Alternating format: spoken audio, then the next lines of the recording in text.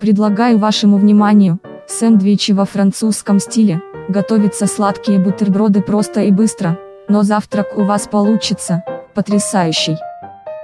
Готовить сэндвичи можно на сковороде, или в бутерброднице, когда появится золотистая, хрустящая корочка, а сыр начнет плавиться, бутерброды готовы, подавать их нужно горячими, клюкву можно заменить на бруснику, вишню, малину, клубнику, можно использовать готовый соус, сыр подойдет любой, главное, чтобы он хорошо плавился. Необходимые ингредиенты, досмотревшим ролик до конца.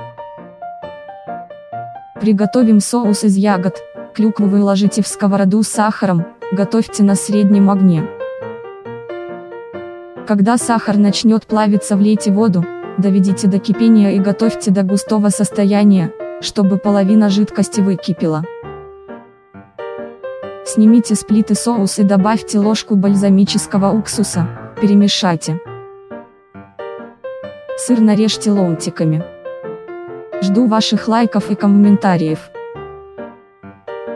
В сковороде растопите сливочное масло, чтобы оно не горело, добавьте к нему ложку растительного масла.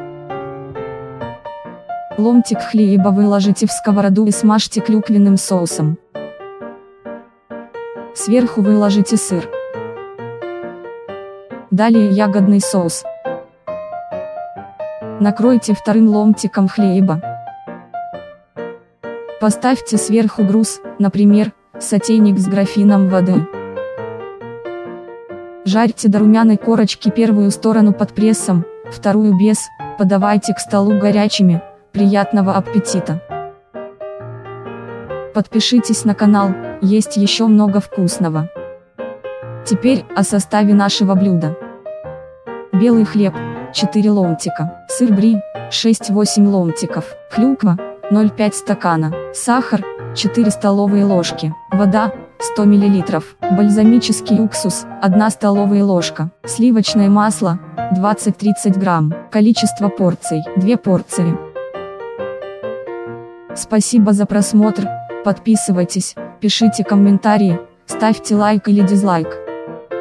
Всем Марии удачи и дачи у Марии, увидимся.